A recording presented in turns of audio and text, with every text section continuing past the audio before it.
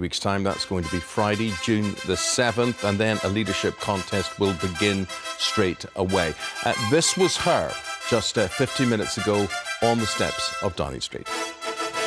Ever since i first stepped through the door behind me as prime minister i have striven to make the united kingdom a country that works not just for a privileged few but for everyone and to honour the result of the eu referendum Back in 2016, we gave the British people a choice. Against all predictions, the British people voted to leave the European Union.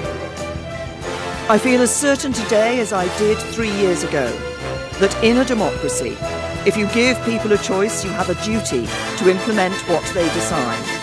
So I am today announcing that I will resign as leader of the Conservative and Unionist Party on Friday the 7th of June so that a successor can be chosen. It is, and will always remain, a matter of deep regret to me that I have not been able to deliver Brexit.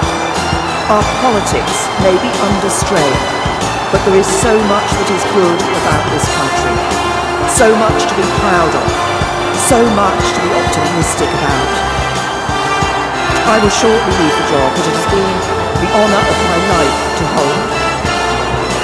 the second female Prime Minister, but certainly not the last.